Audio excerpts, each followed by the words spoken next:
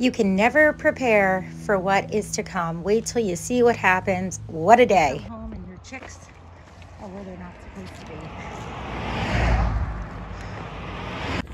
All right, so the chickens got out. This is not good. I don't know if you can see. So yeah, they're, they're out and about.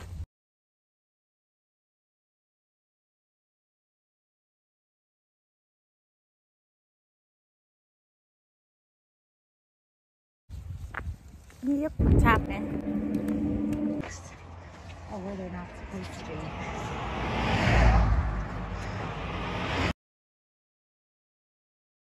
be. You really want to be a homesteader?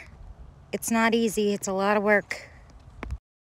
It's a lot of work, but it's a beautiful thing.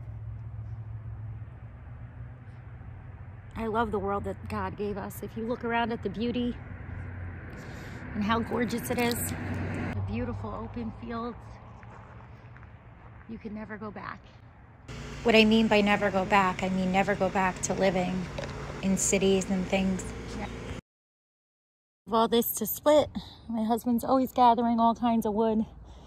This was from a tree he had taken down somewhere. I don't know if you can see all the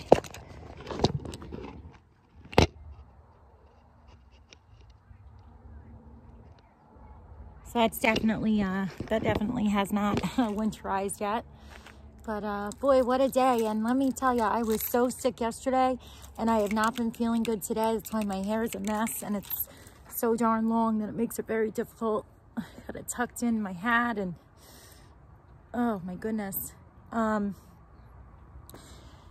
so I was really sick. I drank bad water.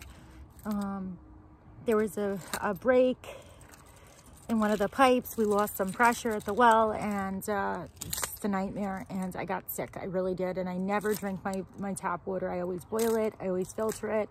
And I have tons of bottled.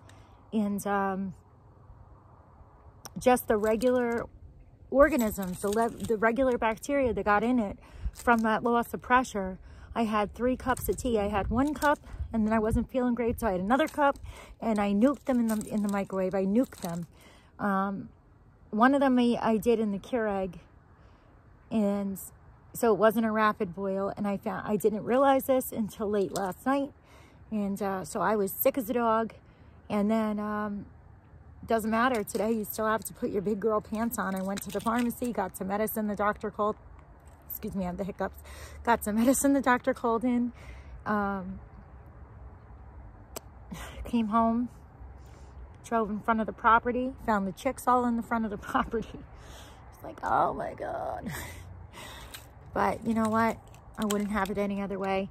I'm so grateful to God um, that he put us in this, in this beautiful, in our beautiful home and that we're blessed the way we are. And if it is God's will that we leave and we end up moving elsewhere, I know that we will know that and he'll provide. But I'm sorry, guys. I, I just love upstate New York. I don't know why people are so negative about it. We are not the city. We are upstate New York. Crazy winds came out of nowhere, uh, as you can see. And I'm inside now. I'm to have another cup of tea. This time it will make, it will definitely reach rapid boil. And I will use my purified water and I will be on later to talk to y'all. I want to talk to you guys. Please keep your head on a swivel. There's a lot of unsettling things going on um, with this uh, case that with that Kyle Rittenhouse. So please be alert, be aware, be prepared, pray and prep. I'll be on later. I have a lot to talk to you about.